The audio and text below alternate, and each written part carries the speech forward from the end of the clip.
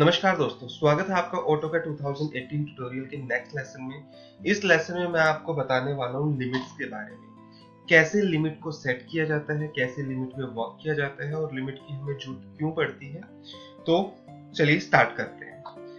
अब सबसे पहले मैं आपको ट्राई करूँगा थोड़े से सिंपल से लैंग्वेज में समझाने की कि एक्चुअल में लिमिट होता क्या है।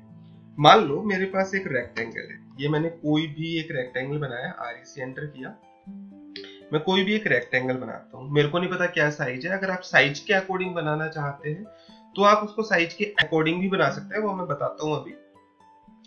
मान लो मैं चाहता हूँ कि मैं एक लिमिट सेट करूँ कि मैं इस रेक्टेंगल के अंदर ही वर्क कर पाऊँ, मैं बाहर के एरिया पे वर्क ना कर पाऊँ। क्लियर दोस्तों? तो उसके लिए आप क्या करेंगे? आप अपनी लिमिट को सेट करेंगे। तो लिमिट को सेट करने के लिए आप बेसिकली क्या करेंगे? L I M I T enter clear limit set करने के बाद यहाँ पे आपको बोलते हैं स्पेसिफाई करें लोअर लेफ़्ट कॉर्नर और आप ये वैल्यूज़ डाल सकते हैं। ये मैं बताता हूँ अभी।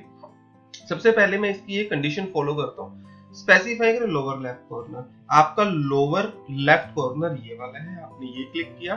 तो इसने क्या किया? उसके कोऑर्डिनेट वहाँ से पिक किए। क्लियर दोस्तों? और उसने बोला स्पेसिफाई करें upper right corner upper right corner आपका यहाँ पे है, आप यहाँ पे क्लिक करें। तो क्या हो गया कि मेरी एक लिमिट सेट होगी कि आप इसी में काम कर सकते हैं। बट होता क्या है? जब आप वर्क करेंगे, आप अंदर भी वर्क कर पा रहे हैं और आप अपने इस व्यू के बाहर भी वर्क कर पा रहे हैं। एक्चुअल में हुआ क्या? आपने लिमिट को सेट तो किया बट आपने लिमिट को ऑन नहीं किया। तो उसके लिए आप क्या करेंगे? L I M I T enter उसके बाद आप लिमिट को ऑन कर दें। अब इससे होगा क्या कि जब आप वर्क करेंगे, आप लाइन अगर कमांड यूज़ करते हैं तो आप अंदर तो वर्क कर पाएँगे बट आप बाहर कहीं पे क्लिक भी नहीं कर पाएँगे। आपकी लिमिट सेट हो चुकी है कि आप इसी लिमिट में अपना वर्क कर पाए। क्लियर दोस्तों? उसके बाद मैं लिमिट को ऑफ़ करता हूँ। I M A T enter और लिमिट को मैंने ऑफ़ किया तो आप बाहर भी यहाँ पे वर्क कर पाएँगे। क्लियर ये तो था लिमिट हम कैसे यूज़ कर सकते हैं, क्या क्या लिमिट होता है। अब हम लिमिट को किस किस वे में यूज़ करते हैं, वो मैं आपको बताता हूँ। मैंने सबको डिलीट किया। मान लो मेरे को काम करना है, मेरे को कोई भी वर्क करना है। जब आप जेड एंटर ए एंटर करते हैं Z enter A enter basically क्या होता है? जूम ऑल कर देता है पेज को। ये पेज का साइज़ बहुत बड़ा है। तो इस पेज की कोई लिमिट नहीं है अनलिमिटेड पेज है, ठीक है? आपकी चारों साइड से अनलिमिटेड है। अब मेरे को क्या करना है? मैं चाहता हूँ कि मैं कोई वर्क करूँ और वो ए फोर साइज़ के पेपर ए फोर साइज़ का जो आपका पेपर होता है, वो उसकी जो लेंथ और विड्थ होती है लेंथ होती है 297 mm और जो विड्थ होती है, वो होती है 210 mm. तो उसके लिए आप क्या करेंगे, मान लो आपने यूनिट सेट की यूएन एंटर और यहाँ पे आप एम mm पे काम कर रहे हो, आपने यहाँ पे डेसिमल किया ज़ीरो किया, यहाँ से आपने मिलीमीटर किया ओके और आपने एक रेक्टेंगल बनाया आर ई सी एंटर उसके बाद फ़र्स्ट क्लिक किया D enter 297 enter two ten enter तो आपका देखो ये बॉक्स बना। अब देखो, अब ये जो ए फोर साइज़ से भी छोटा पेज है यहाँ पे, जो आपको यहाँ पे शो हो रहा है। क्लियर दोस्तों? अब मेरे को क्या करना पड़ेगा? मेरे को स्क्रॉल करें इसको जूम आउट करना पड़ेगा ताकि ये लेआउट मेरे पेज के बीच में आ जाए। मेरे को पता चले कि एक्चुअली मेरे पेज का साइज़ चल क्या रहा है। अब इतना जो साइज़ है, वो मेरे को पता है कि 297 बाई 210 mm है। क्लियर अब मैं चाहता हूँ कि मैं इसी में वर्क करूँ तो बेसिक वही फंड है कि आप लिमिट ऑन करेंगे और आप फ़र्स्ट कॉर्नर ये रखेंगे, आप अपर राइट कॉर्नर ये रखेंगे और आपकी लिमिट सेट हो जाएगी। करके देखते हैं। या फिर मैंने इसको डिलीट किया। दूसरा क्या होता है कि मैं जो फ़र्स्ट कॉर्नर लू, वो कोऑर्डिनेट ज़ीरो ज़ीरो तो उसके लिए आप क्या करेंगे? आपने एक रेक्टेंगल बनाया आर ई सी एंटर या फिर आपने किया आर ई सी एंटर या फिर आपने उससे पहले लिमिट सेट कर दी। L I M I T enter आपने रखा लोअर लेफ़्ट कॉर्नर आपने कोऑर्डिनेट प्रोवाइड किए ज़ीरो कोमा ज़ीरो तो क्या होगा? यहाँ पे आ जाएगा आपका लोअर लेफ़्ट कॉर्नर अब है upper right corner upper right corner आपने प्रोवाइड किया 297 कोमा 210 एंटर तो आपकी लिमिट सेट होगी. दिखेगा नहीं? अगर आपको ये चीज़ देखनी है, मैं आपको क्लियर तरीके से समझाऊँगा अभी यहाँ पे. मान लो मैंने एक रेक्टेंगल बना दिया आर एंटर उसके लिए फ़र्स्ट कॉर्नर पॉइंट रखा मैंने ज़ीरो कोमा ज़ीरो पे एंटर और सेकंड कॉर्नर रखा मैंने 297 कोमा 210 पे। तो आपने एक रेक्टेंगल बना अब लिमिट भी आपने इतनी सेट करो, आपका रेक्टेंगल भी बन चुका है। आप लिमिट को ऑन कर दीजिए L I M A T enter और आपने लिमिट को ऑन कर दिया। अब देखो, होगा क्या?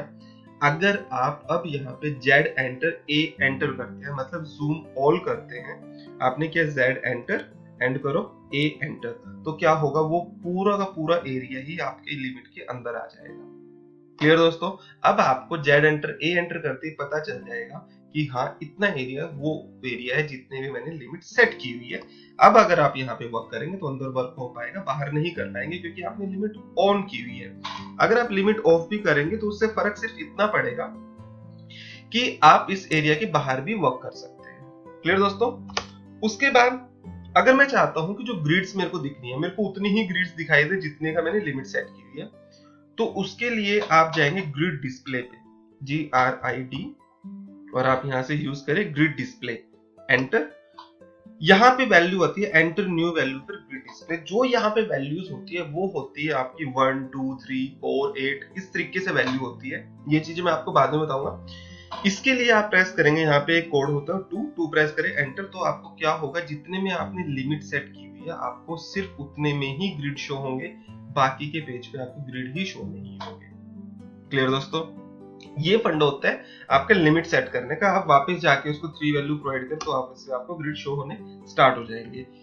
एक और तरीके से ग्रिड हम कैसे यूज़ करते हैं, मान लो, आपने एक लाइन लगाई यहाँ पे, और वो लाइन लगाई आपने मान लो मेरे को ये लाइन चाहिए वन थाउज़ेंड आपने यहाँ पे वन थाउज़ेंड लिखा अगर आप देखो आगे से जाते हो तो यहाँ पे आप देखो कर्सर के पास 640, 650 ऐसे जा रहा है। अगर आप 1000 करते हो तो आपकी स्क्रीन से बाहर जा रही है। क्लियर दोस्तों?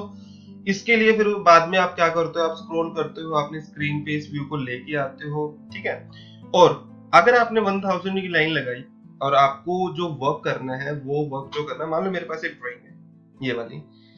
इसका साइज़ है 30 70 30 और यहाँ पे साइज़ है मतलब 130 बाई ये 140 के आसपास है। मेरे को 150 बाई 150 की एक लिमिट सेट करनी है ताकि मैं उसी के बीच में वॉक कर पाऊँ।